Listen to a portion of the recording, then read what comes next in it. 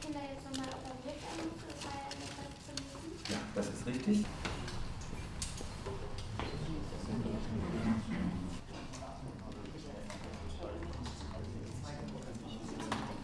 Äh, mittlerweile ist die Mutter wieder auf, in der Nähe ihrer Kinder und besucht ihre Kinder auch regelmäßig und sitzt ganz glücklich am Inkubator.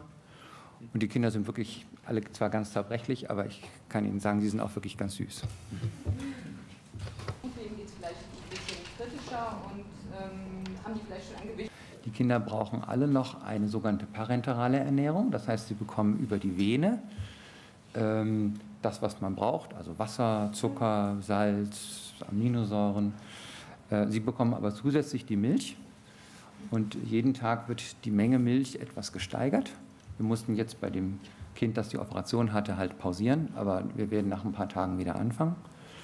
Und das Ziel ist, dass wir vielleicht in zwei bis drei Wochen dann diese Infusion nicht mehr brauchen und sie alles, äh, was die Kinder brauchen, über, letztlich über ihren Magen bekommen und über ihren Darm.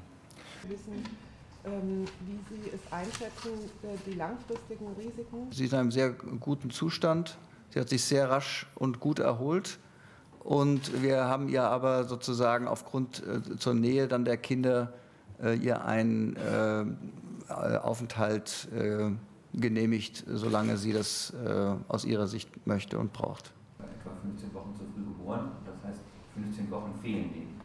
Ähm, die Frau hat sich uns anvertraut und äh, wir haben, äh, es wird auch sicherlich, vielleicht kann man das ergänzend sagen, äh, ich glaube nicht, dass das große Nachahmung in der Bevölkerung oder weltweit nach sich ziehen wird. Gerade diese Erfahrung, dass nämlich höhergradige Mehrlinge mit einer Schwangerschaftsdauer, die deutlich äh, kürzer ist, äh, assoziiert ist, ähm, das wird äh, die Menschen vielleicht auch aufrütteln, beziehungsweise vor allen Dingen die Reproduktionsmediziner zum Nachdenken äh, veranlassen.